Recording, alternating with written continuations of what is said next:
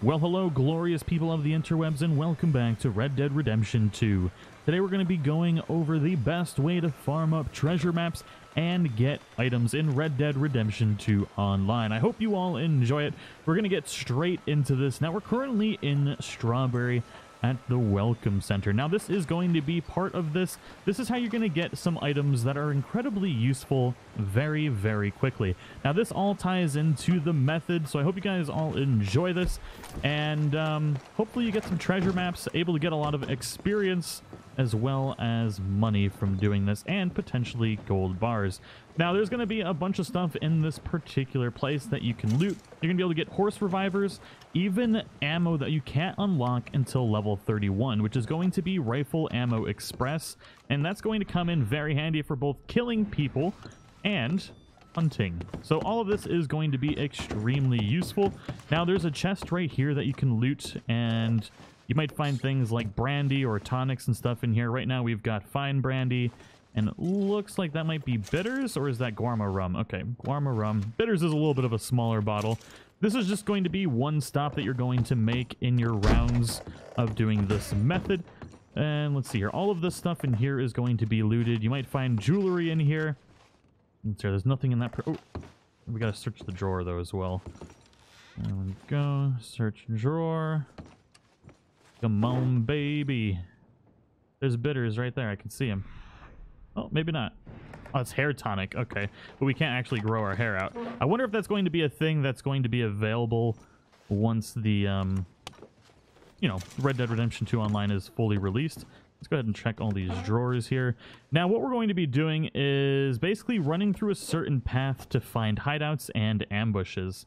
This is going to come in very handy for farming up treasure maps because you can get them from both ambushes and hideouts from looting enemies. So just keep that in mind and make sure every time you run into one of these that you loot all of the enemies. I haven't gotten one from a leader, but I have gotten a treasure map from the enemy ambushes.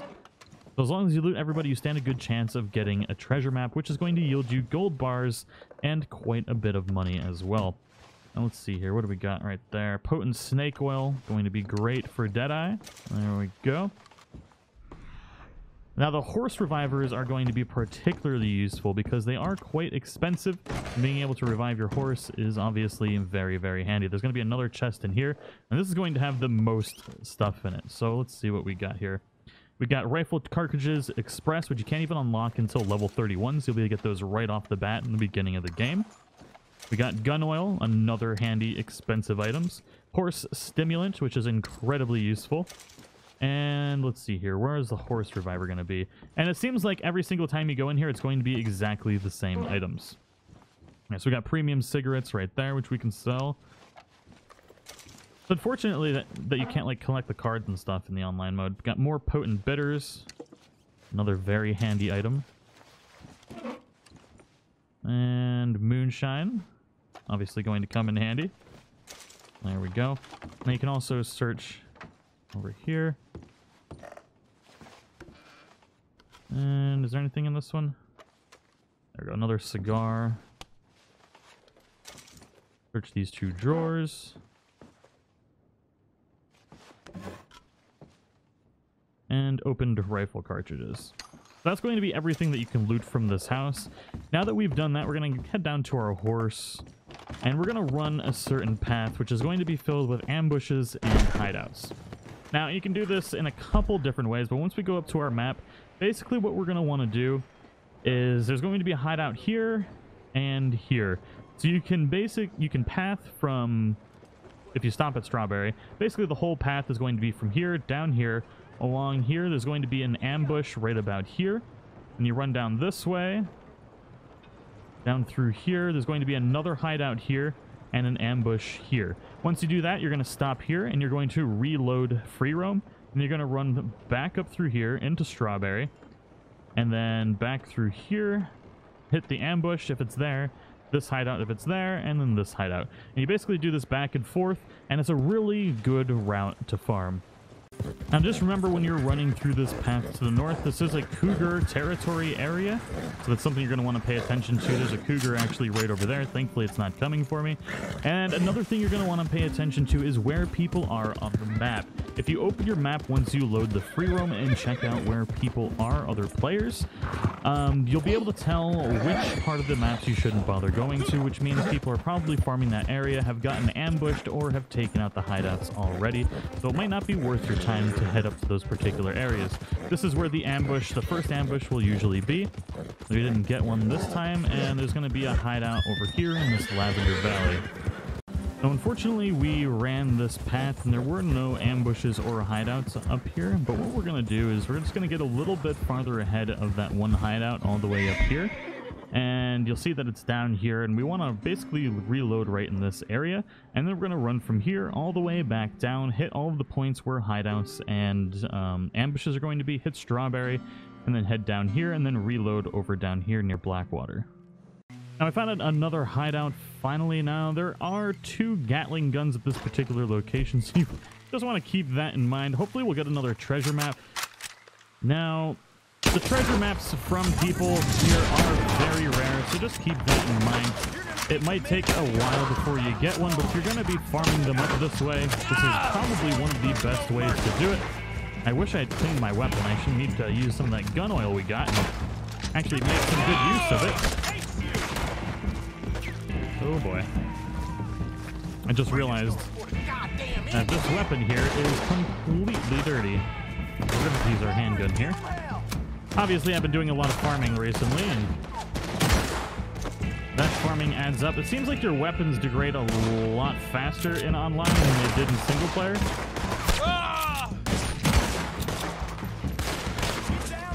Alright, so that's the Gatling gun I was talking about.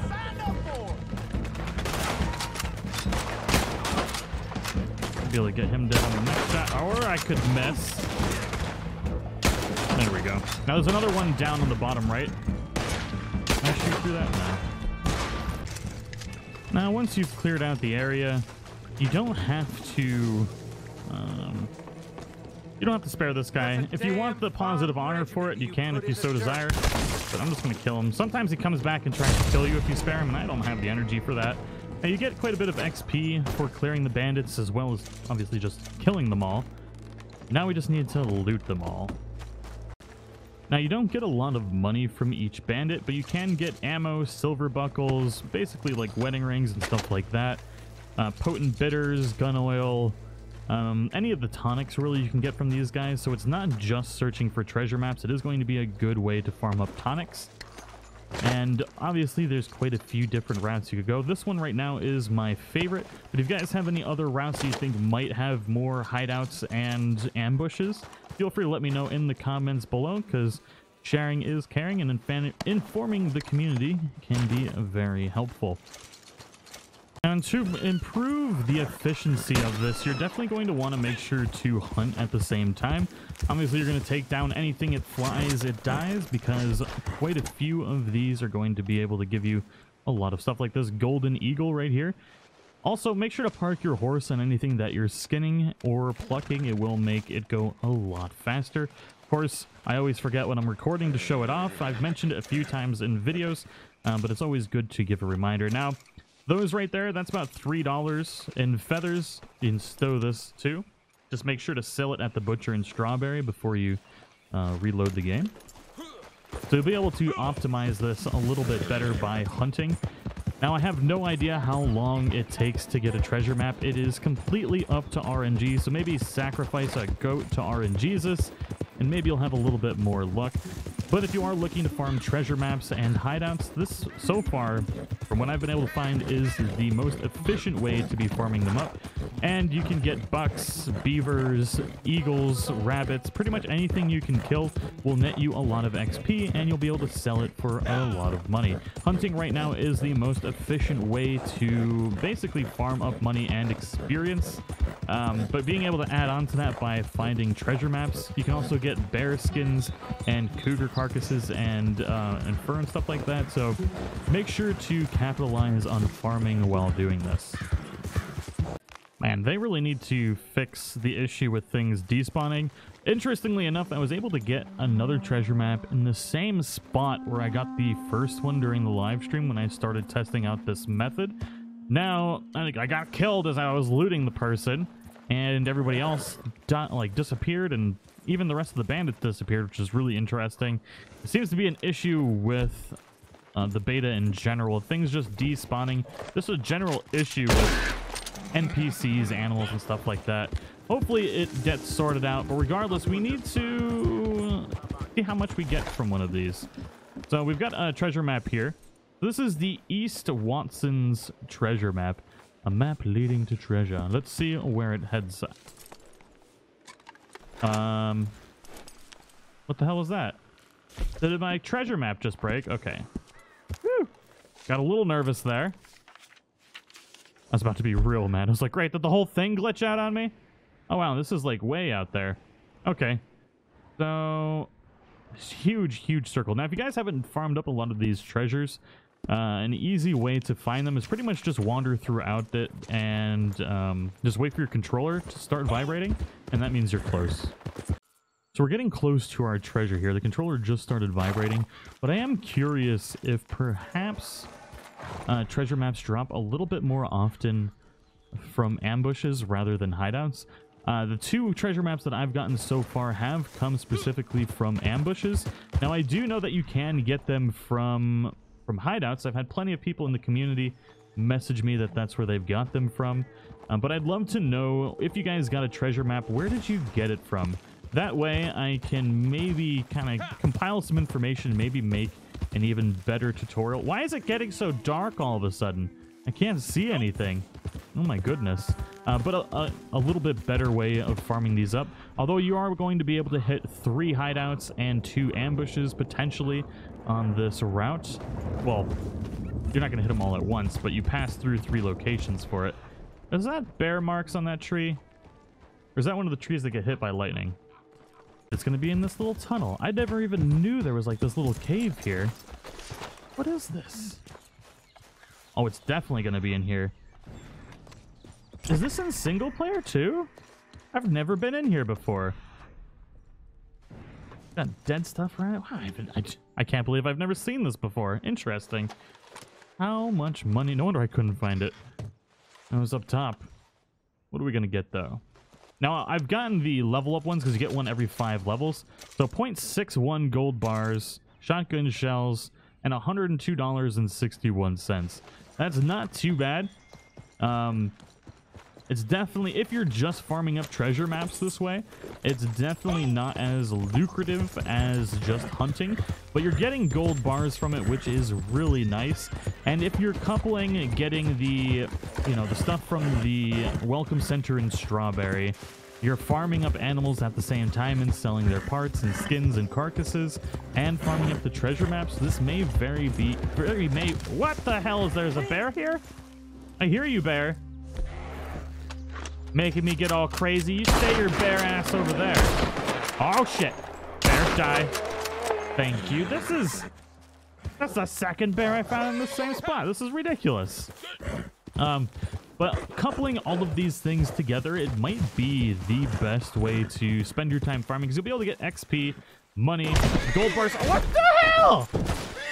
The end of this episode is my horse is dead. Thank God I got those horse revivers. They're only $9 a piece if you buy them from the store. So thank God I found an easy way to farm those up. And thank you to Lars Peterson. He is actually the one that informed me about this welcome center thing in Strawberry. So thank you so much, Lars Peterson.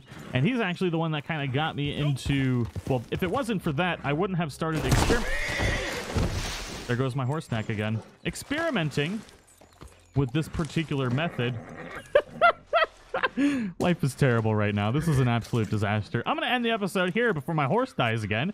I'll see you all in the next one.